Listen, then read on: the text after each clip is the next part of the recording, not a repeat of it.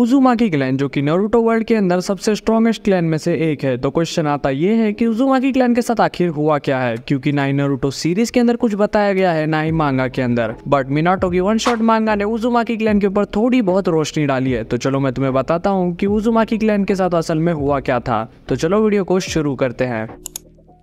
उजुमाकी clan originate हुआ था। उजुशी कोरे नाम के एक विलेज से, जो कि लैंड ऑफ़ वर्पुल के अंदर आता है। और इनके जो फ़र्स्ट लीडर थे, वो थे आशिना उजुमाकी। और जितने भी उजुमाकी क्लैन के लोग थे, उन सब के हेयर कलर्स रेड होते थे। और ये उनकी पहचान थी कि वो लोग उजुमाकी क्लैन से हैं। उजुमाकी क्लैन और सेंजू क्लैन दोनों ही दूर के रिश्तेदार थे, और दोनों ही क्लैन काफ़ी ज़्यादा क्लोज थे। इतने क्लोज कि ज़्यादातर टाइम तो एक दूसरे के क्लैन के लोगों से ही मैरिज किया करते थे। और इसका सबसे बड़ा एग्ज़ाम्पल है हाशिरामा सेंजो और उजुमाकी मीटो। और मीटो फ़र्स्ट जिंजूरी की है ऑफ़ कोरोमा बाद में उजुमा की क्लैन के साथ अपने रिलेशनशिप को दिखाने के लिए उजुमा की क्लैन के सिंबल को कोनोहा के शिनोबी के कपड़ों पर लगा दिया गया।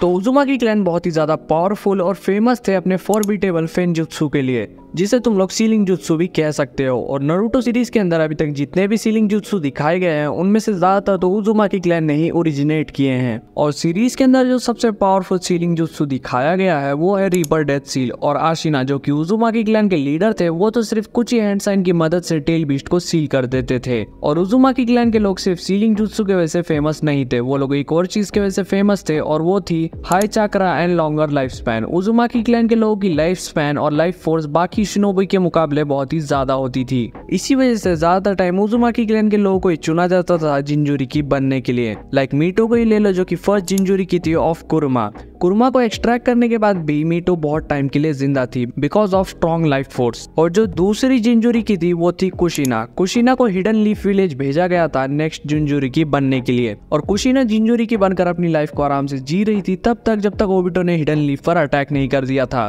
बट फिर भी कुशीना के अंदर से नाइनटेल को एक्सट्रैक्ट करने के बाद भी कुशीना बहुत टाइम तक अलाइव थी. अगर वहीं कोई अगर नॉर्मल शिनो भी होता, वो तो कब कट्टा पक गया होता. अब तुम अंदाज़ा लगा लो कि उजुमा की क्लैन के लोग कितने ज़्यादा स्ट्रॉन्ग हैं.